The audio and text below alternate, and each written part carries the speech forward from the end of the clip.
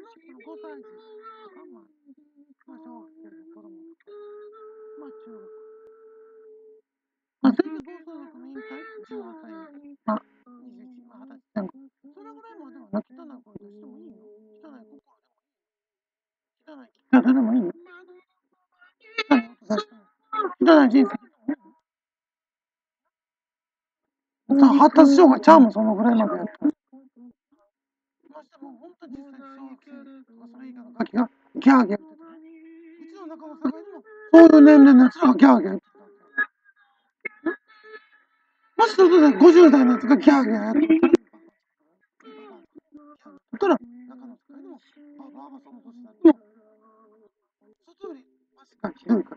うちの子の防衛教育。うちの防衛がしくしてたら、外より中のがひどい。あらゆるババが、ちょっと喋る。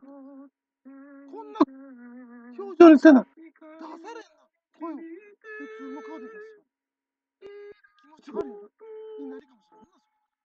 バカなんて知らんけど、中の世界では、その年だとも、あんなやつらばっかり。その防衛口しくじったら、外より中のがあんなやつ。その年になってもそう。あいつらは健常者に対して、大人やのにひどいと思ってる。